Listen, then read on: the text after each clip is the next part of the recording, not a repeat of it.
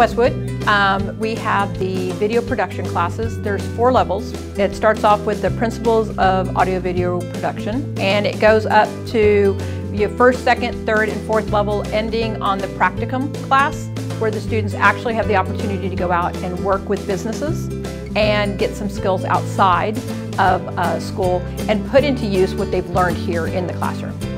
We have HD cameras. We have that studios. We have chroma key backgrounds, as you can see here. We have great lighting. We have portable LED lights, studio lights. We're a Macintosh lab, and when students go through the program, they'll be certified in Adobe Premiere. They'll also be certified in Final Cut Pro, and they'll have an, a credit, uh, three credits for ACC uh, for video uh, production that the, they could also take with them to a university.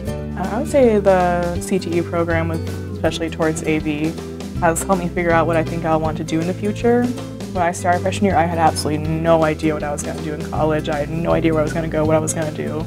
Um, so I just took the first year class to, as a schedule filler. I didn't know what it was. Um, but I ended up really liking it, really liking all the things we learned.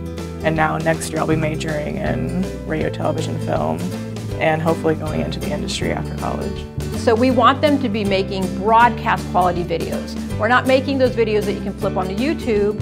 You can do that at home. What we're teaching you here are those broadcast quality skills so that you have those skills to go and get a job in this field or continue it into, um, uh, into a college career.